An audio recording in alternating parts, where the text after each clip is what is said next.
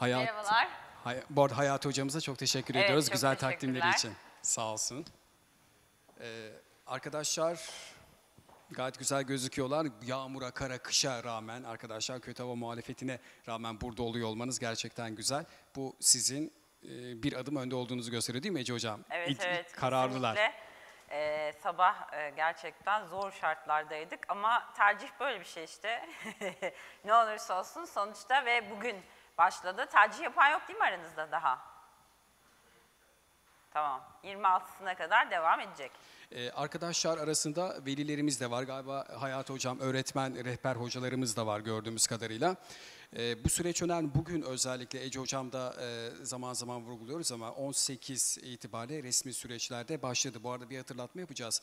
Ee, Ülke TV ekranlarında hafta sonları da arkadaşlar rehberlik üzerine yine programımız var Hayat Tercihtir. Orayı da takip etmenizi rica edeceğiz. Oradan da sorularınızı alabiliriz kafanızda eğer bir şey takılırsa, çözemediğiniz konular olursa Ece Hocam'la biz her zaman oradan ve e, sosyal medya hesapları üzerinden yine Hayat Tercihtir üzerinden de sizlerle buluşuyor ve kaynaşıyor olacağız. Biz hayat tercihtir e, diyoruz. Hayat tercihtir mi aslında? E, bunu da çok sorguluyoruz ve çok tartışıyoruz. Hmm, hayatın tercihlerden ibaret olduğunu, kaderci yaklaşım bir kenara bırakırsak, e, tercihlerden ibaret olduğunu ben düşünüyorum ama Ece Hocam ne diyor bilmiyorum. Evet, her e, her tercih bir seçim aslında. Tabii e, çoğu kişi son- e, şunu da söylüyor. Aynı zamanda bir şeyi tercih ettiğiniz zaman başka bir şeyden de vazgeçmiş oluyorsunuz. O yüzden e, tercih e, birazcık daha zor bir süreç. E, karar vermesi uzun süren, e, belki çok detaylı düşündüğümüz, işte ne bileyim günlerce, aylarca bile e, düşündüğümüz e, bir şey. Bir şeyi tercih ediyorsunuz çünkü. Şu anda 24 tercih hakkınız var ama o 24 tercihten birini e, birine yerleşeceksiniz. Sadece e, biri e, sizin şansınız olacak. Bilmiyorum e, aday arkadaşlar ne diyor? Tercih midir sizce hayat? Hepsi Şu hayatın anda evet, tercihlerden en çok ibaret olduğunu söylüyor. Ben gözlerinden Öyle mi? e, arkadaşlarım... Herkes hayat tercihtir mi diyor? Evet. Sen demiyorsun diyorsun. Tamam. o zaman hepimiz hemfikiriz. Evet hayat tercihi. Biraz, birazdan arkadaşlar çok güzel bir video size seyrettireceğiz. Dün elimize ulaştı. Aslında çok e, anlamlı ve manidar. Bu soruya hepimiz eminim ki belki de yaşamı boyunca bir dönem özellikle bu yaş diliminde ve öncesinde çok sıkça muhatap olduğunuzu ben tahmin ediyorum ki ben de çok e, bu soruya muhatap oldum. Bakalım oynatabilecek miyim videoyu? Evet. Yok oynatamadık galiba. Belki teknikten arkadaşım destek olabilir. Üzerine Şöyle mi yapalım? Yok. geri Evet, evet. şu anda teknolojik bir... Ha evet. Heh, tamam. Bir bakalım mı? Şurada play var. Evet.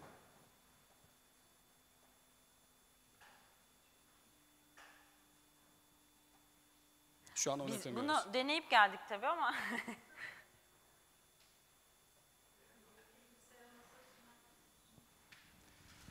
Evet.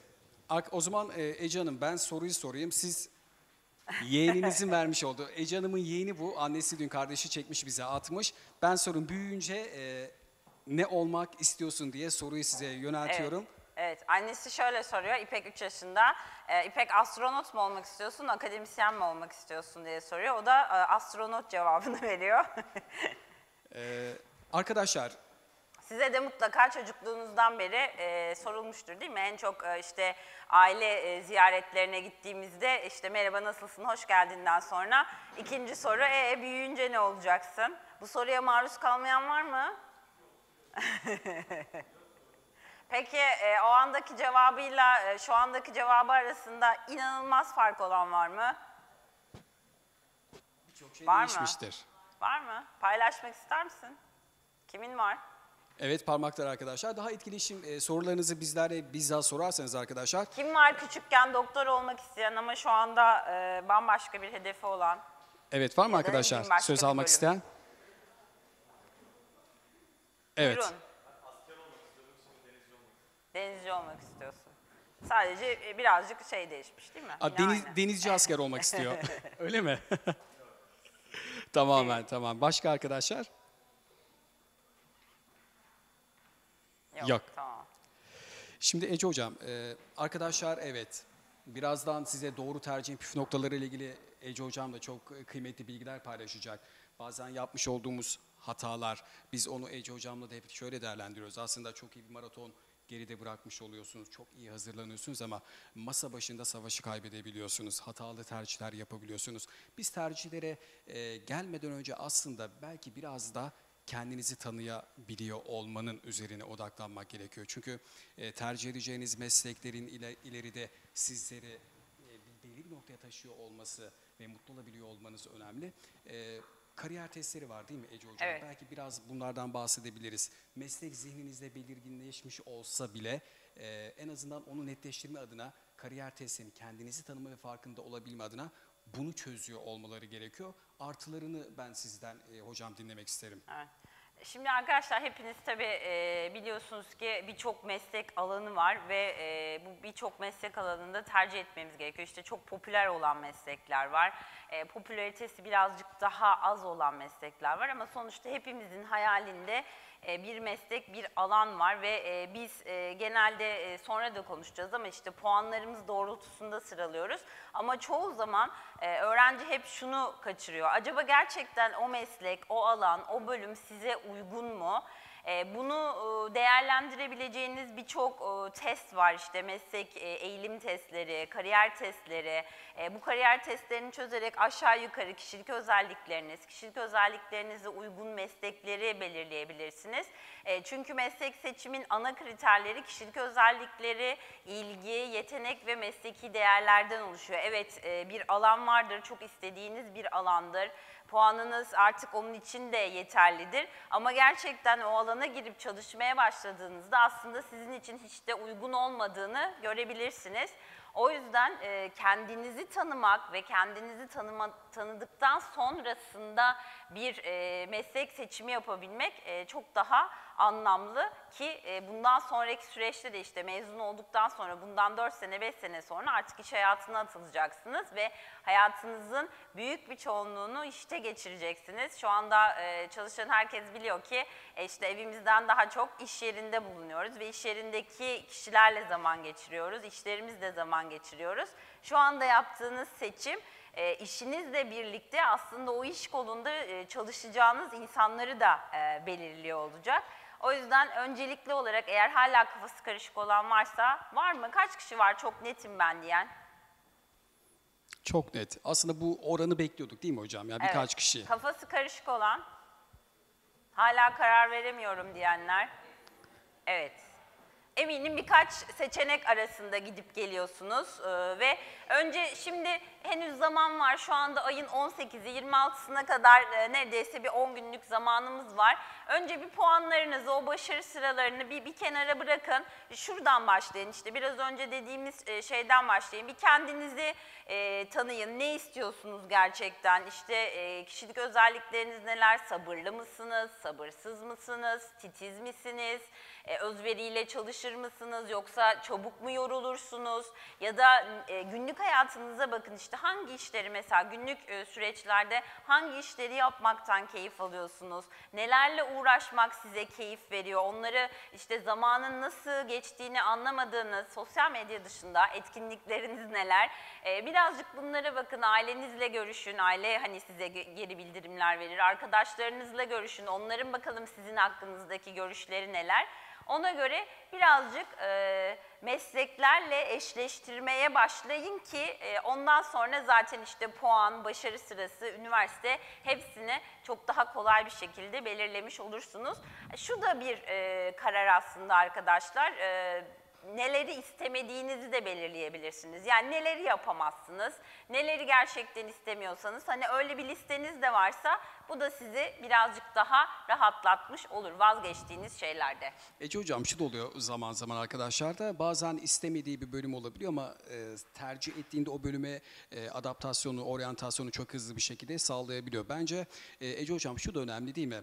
E, arkadaşların istekleri, başka bir şey. Bir şeyi istiyor olmak başka bir şey ama beceri ve yeteneklerinin o isteği doğrultusunda onu destekleyici ve e, tamamlayıcı oluyor olması gerekiyor. Evet, Bu evet, bağlamda sadece kesinlikle. istemek yeter diye kadarıyla. Kesinlikle. Yani diyelim ki diş hekimliği e, yazmayı düşünüyorsunuzdur ama işte diş hekimliği ne ister? El göz koordinasyonu ister, el becerisi ister. e, birazcık daha işte e, ellerinizi çok daha e, detaylı olarak kullanmayı ister. Hani böyle bir yeteneğiniz yoksa o e, birazcık daha düşünmemiz gerekiyor. Ya da e, geçen sene bir öğrenciyle görüşmüştük mesela diş protez teknolojisi istiyordu. Gerçekten çok istiyordu. Ama konuşmamız e, sonrasında gördük ki alerjisi varmış, toz alerjisi varmış ve o alanda çalışan kişiler daha çok işte bu protezlerin yapımı sırasında toz çıkıyor, farklı kokulara maruz kalabiliyorlar ve hani onun e, tercihiyle ilgili böyle bir değişiklik yaptık sağlık probleminden dolayı. O yüzden e, meslekleri de e, çok iyi araştırıp tanımanız gerekiyor arkadaşlar. Yani gerektirdiği özellikler neler, hangi ortamlarda, nasıl durumlarla karşılaşabilirsiniz, nerelerde çalışabilirsiniz ve onun sonrasında bir karar vermeniz gerekiyor. E, galiba bu alanın çalışanlarıyla da görüşüyor olmaları Evet, evet. arkadaşların önemli ama e, he- hep vurguluyoruz. Bazen mesela ben iletişim tercih edecek bir arkadaşım gelir benimle görüşürse ben eğer mesleğimi sevmiyorsam çok yanlış yönlendirmiş de olabilir. Mesleğini seven kişileri bulabiliyor olmak da önemli herhalde Evet, burada. evet, evet. Kesin. E, şu anda doğru bir yerdesiniz aslında. Bir sürü üniversite var ve e, şu anda e, o üniversitelerin öğretim e, görevlileri burada, öğrencileri burada. Hani onlarla görüşüp öğretim görevlilerinden meslek, meslek sonrasındaki istihdamla ilgili bilgi alabilirsiniz. Öğrencilerden birebir bölüm ve üniversiteyle ilgili bilgi alabilirsiniz. Bu arada size en doğru şeyi öğrenciler söyler. Eminim e, siz de onlara daha çok güveniyorsunuzdur. E, çünkü gerçekten içeride birebir o bölümü okuyan, o üniversitede e, eğitimini devam ettiren öğrenciden pek çok bilgi al- alma şansınız var şu anda. E, Burada bazen arkadaşlarımız e, özellikle meslek seçiminde, araştırmada, bölüm seçiminde e, bazen ebeveynlerin veya çevresindekilerin baskısında da kalabiliyor. E, Ama biz her zaman vurguluyoruz ki bu alanın çalışan uzmanları da Ece Hocam da her zaman vurguluyor. Daha çok sizin tercih ediyor olmanız gerekiyor. Bu konuda da ailelere uyarılarımız oluyor ama arkadaşlar tamam ben eminim. Hatta Nevzat Tarhan hocamızın %51 kuralı var bu konuda. %51 tamam bu diyorsanız arkadaşlar o alanda yürümesi Evet, gerekiyor son, değil mi? son karar sizin olsun. Yani tercih listenize bir bakın ama e, karar verirken tabii ki anne babamızın e, söylemleri önemli, etrafımızdakilerin söylemleri önemli. Onları da değerlendirelim. Ama lütfen e, son kararı siz verin. Mes- son karar sizin olsun. Meslek seçmeden önce dört açın gözünüzü, seçtikten sonra bir açın diyor Nevzat? Hoca. Nevzat Hoca, buna evet. dikkat ediyorum. Biraz tercihlerde e, artık tabii fazla vaktimiz olmadığı için biraz teknik olarak bazı şeyleri ben Ece Hocam'a sormak isteyeceğim. E, Sizlerin de sorularınız varsa arkadaşlar lütfen çekinmeden sorun sorularınızı. Arkadaşlar da hep şu kaygı oluyor ya. Puanlarını görüyor. Ellerinde şu an puanları var. Görüyorlar. Birkaç tane puan e, sütunları var.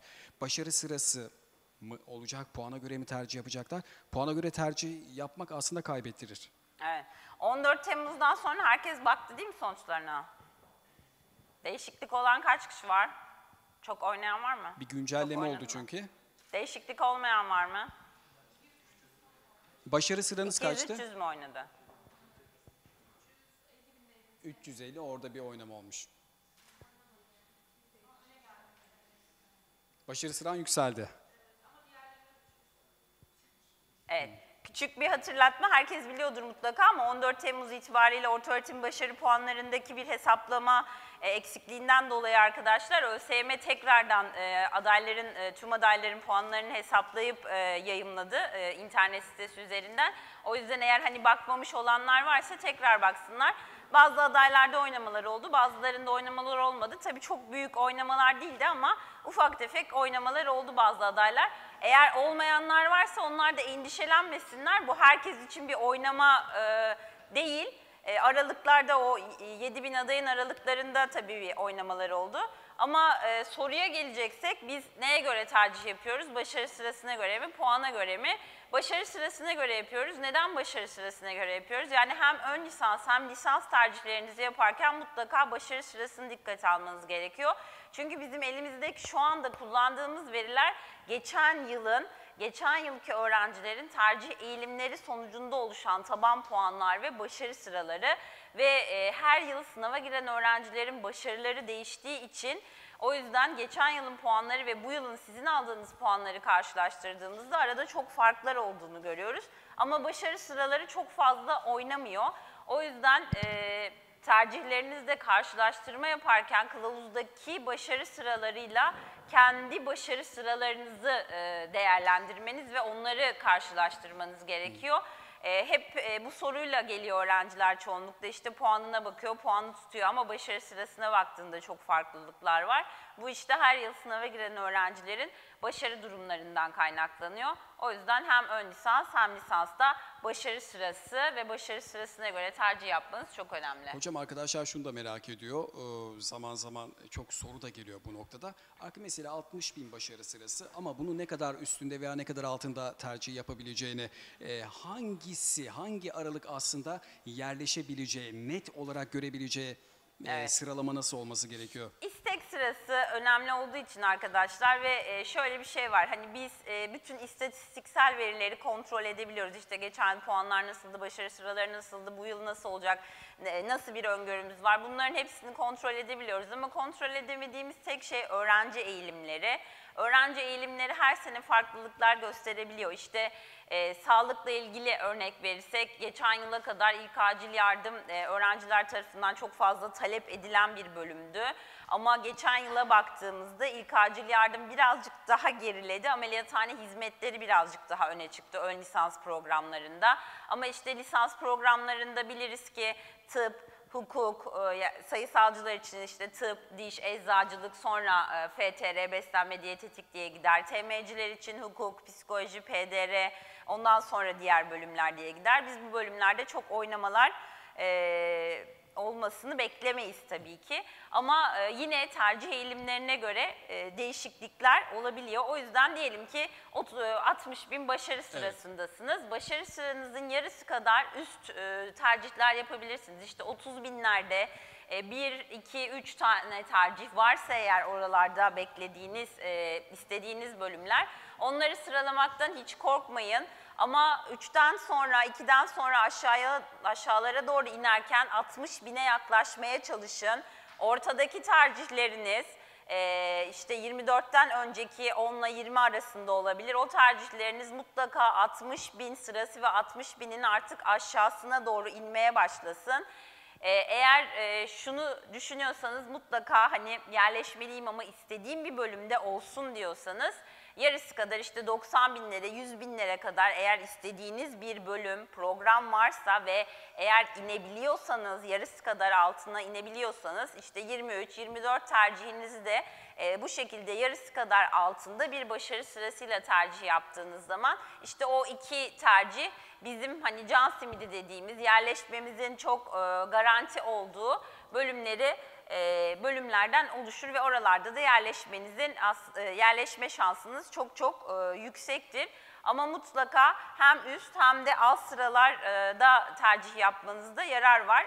Biraz önce dediğim gibi tercih eğilimleri bir anda değişebilir. İşte geçen sene çok popüler olan bir alan bu sene öğrenciler tarafından daha az tercih edebilir ki e, burada tabii şu da önemli. Bu sene kontenjanlar 58 bin oranında arttı. Yeni açılan üniversiteler var, yeni açılan bölümler var. E, bunları da değerlendirerek e, bir tercih yapmanız gerekiyor. Ha, kontenjan açılması bizim için evet ta- hem avantaj hem dezavantaj. Sonuçta sınava da giren e, şu anda tercih yapacak da bir e, öğrenci sayısı var. Ama e, herkesin e, şu dönemle ilgili farklı farklı e, kararları olabilir. O yüzden üst tercih yapmaktan da hiçbir zaman için korkmayın. Hocam ölü tercih soracağım ama ben şöyle düşünüyorum siz katılıyor musunuz? Aslında e, kontenjanlarda 58 bin bir artış olduğunu söylüyoruz bu öğrenci arkadaşlarımın avantajına. E, aslında sağlık ve doğru bir tercih yaparsa arkadaşlarımızın çok da açıkta kalma gibi bir riski aslında Olmaz, evet. E, yani doğru tercih yaparsa eğer. Evet. Bir de şöyle bir şey arkadaşlar, e, yaklaşık e, 17 senedir bu işi yapıyorum. E, Böyle işte sınav değişikliklerinin olduğu, e, daha böyle karmaşaların olduğu dönemlerde öğrencilerin hep çok sürpriz yerleşmelerinin olduğunu gördüm. Ki bu sene de işte sınav sisteminde değişiklikler oldu. Meslek liseleri için sınavsız geçişler kaldırıldı. Hani e, birçok e, değişiklik işte e, YGS'den TSE'ye geçen öğretmenlikler var. Mimarlıkta, mühendislikte, tıp, hukuk ve bu sene e, rehberlik de dahil olmak üzere öğretmenliklerde baraj sıralamalarımız var. O yüzden böyle durumlarda çok e, sürpriz yerleşmeler olabiliyor. E, bunu da e, avantaja çevirmeniz gerekiyor. Yani doğru tercih yaptığınız zaman e, hiç beklemediğiniz bir yere de yerleşme ihtimaliniz var aslında. Arkadaşlar bu burada özellikle sizi de ben e, dinlemek Ece hocama varsa sorunuz daha spesifik daha özel konular üzerinden de gidebiliriz. Mesela bu şey karşıda tahtada yazan e, başlıklardan dikkat çeken veya merak ettiğiniz var mı? Çünkü Hayat Hocam sürenin de yavaş yavaş sonuna geliyoruz galiba. E, toparlayacağız. Özellikle mesela şu bölümü istiyorum, şu e, programı istiyorum ama şu henüz netleşmedi veya şunu çok merak ediyorum dediğiniz bir konu var mı arkadaşlar bizimle paylaşmak istediğiniz? Özellikle. Bilgileri alıp gelmiş arkadaşlar. Da, ama arkadaşlar daha farkında, e, daha e, bilinçliler galiba Ece Hocam. O, bahsedelim hocam. E, Ece Hocam, Evet. evet e, davranış bilimleri ve sağlık alanı Türkiye'nin ilk tematik üniversitesi. E, biraz tematik bir üniversitede okuyor olmanın avantajlarını belki biraz e, bahsetmekte fayda var. Evet, e, sağlık ve davranış bilimleri ağırlıklı bir üniversiteyiz arkadaşlar. Anadolu yakasındayız. E, şu anda e, 4 yerleşkede e, eğitim ve, ve öğretim veriyoruz. 15 bine yakın öğrencimiz var.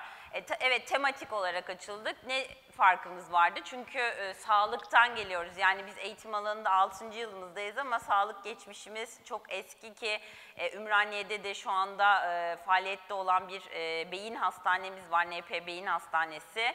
E, hem e, burada e, psikoloji, psikiyatri, nöroloji ve e, farklı e, birçok alanda bizim mühendislik fakültemiz var ama mühendislik fakültesindeki öğrencilerle sağlıkla ilgili birçok çalışma yapabiliyorlar, birçok e, projeye devam edebiliyorlar.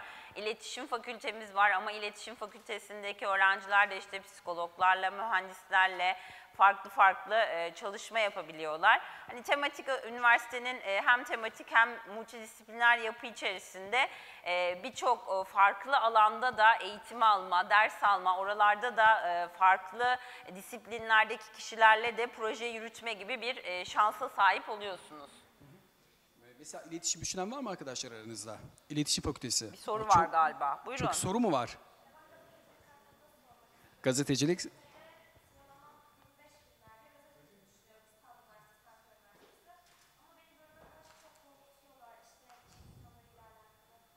Şaban Bey buyurun. Evet. Tamam buna cevap vereceğiz. Başka iletişim düşünen var mıydı? Hangi bölüm? İ- İletişim olsun hangisi olursa olsun. Evet.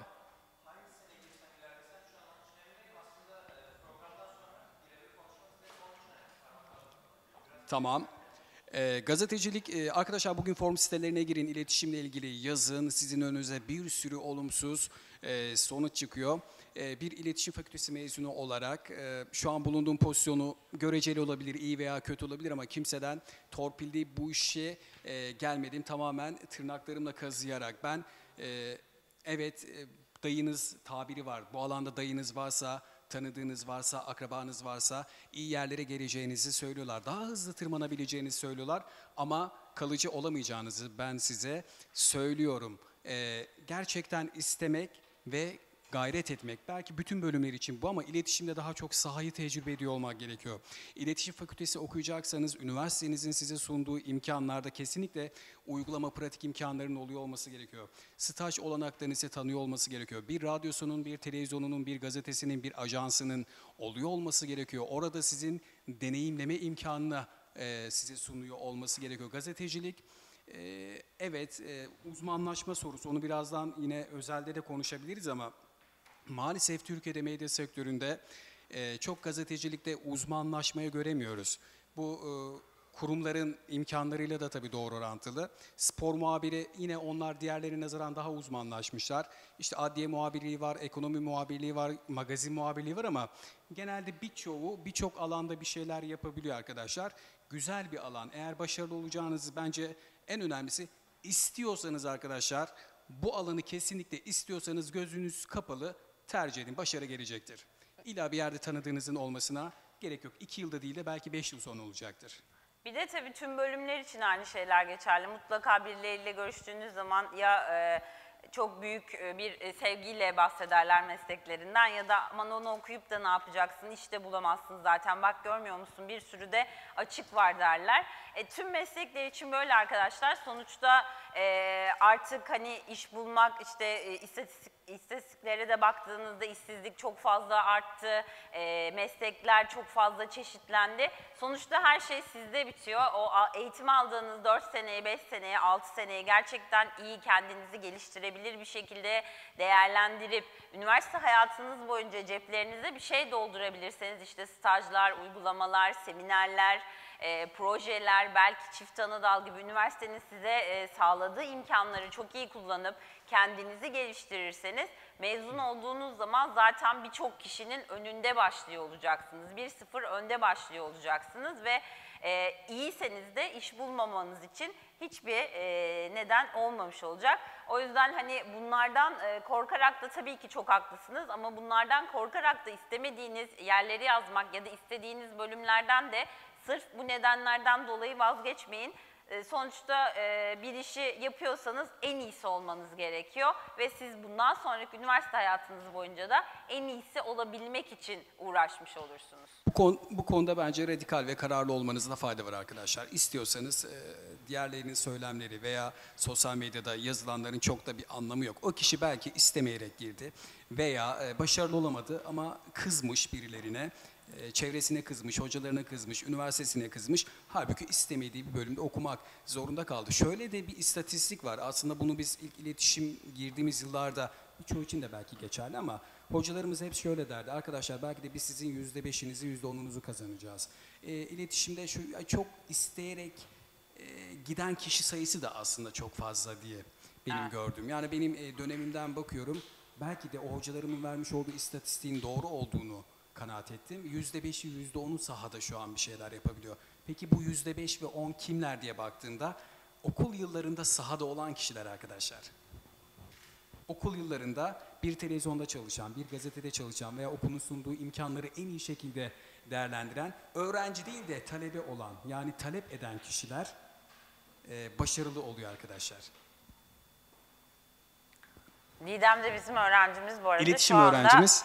Çalışıyor, staj ve staj yapıyor aslında değil mi? Bir nevi yaz stajı yapıyor. Evet sorusu olan var mı?